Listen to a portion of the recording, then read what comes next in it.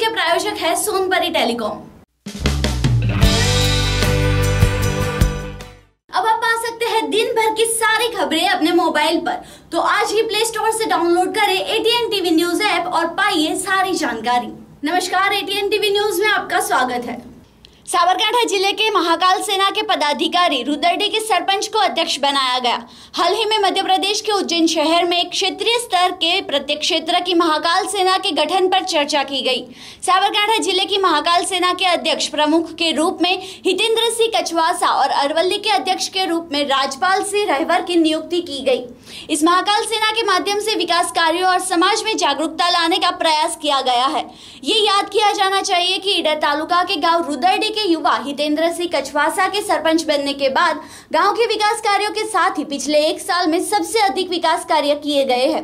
रुदरडी के युवा सरपंच हितेंद्र सिंह कछवासा समाज सेवा के लिए तैयार रहे हैं और जब भी किसी को उनकी मदद और मार्गदर्शन की आवश्यकता होती है, तब वो उन्हें सूचित करने के बाद उनके साथ खड़े रहते हैं। सरपंच हितेंद्र सिंह कछवासा द्वारा बताया गया कि निकट समय में साबरकांठा और अरवल्ली में भव्य सम्मेलन करने के बाद पदों को बांटा जाएगा। हिम्मतनगर से माजिद मंसूरी की खास रिपोर्ट। अपने शहर और आसपास की खबरें जानने के लिए देखते रहिए एटीएन टीवी न्यूज़ अगर आपको ये वीडियो पसंद आया हो तो इसे लाइक करें शेयर करें और हमारे चैनल को सब्सक्राइब करें। साथ ही बेलाइकन दबाना ना भूलें। मदीना मोबाइल। हमारे यहाँ सभी प्रकार के मोबाइल स्पेयर पार्ट्स और एसेसरीज मिलती है। सभी मॉडल के स्पेयर पार्ट्स जैसे कि कॉम्बो डिस्प्ले टच और कई सारे पार्ट्स अहमदाबाद जैसे दामों में उपलब्ध है।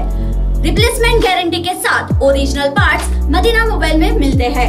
एटीएम टीवी न्यूज़ के माध्यम आने वाले ग्राहक मित्रों को मदीना मोबाइल द्वारा किसी भी वस्तु की खरीदी पर 50 प्रतिशत डिस्काउंट दिया जाएगा।